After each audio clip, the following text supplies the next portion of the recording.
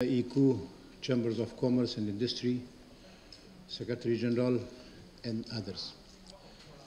Ladies and gentlemen, uh, uh, I'm very happy to be here today. Actually, ECO CCI is part of uh, Islamic Chamber because uh, all the members of the ECO Chamber of Commerce are Muslims countries. And uh, two years before uh, General Assembly meeting, I suggest to have good contact with Islamic Chamber. ECO and Islamic Chamber must uh, have every year one or two meetings together.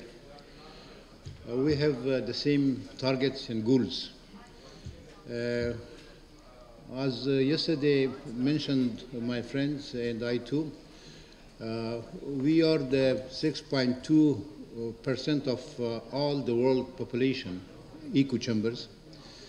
Uh, but our share in uh, world trade and the world production is less than 2%. It's not acceptable. we have to work hardly.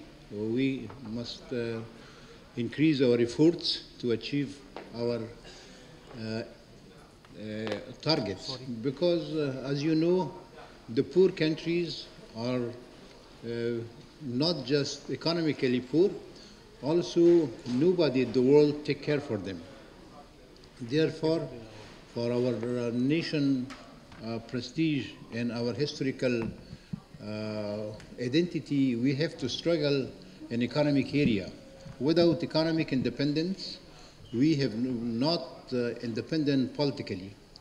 Therefore, it's a very big uh, duty for us.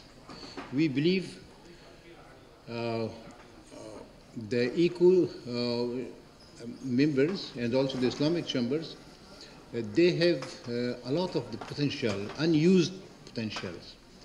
the energy resources in these countries, the human resource we have huge, and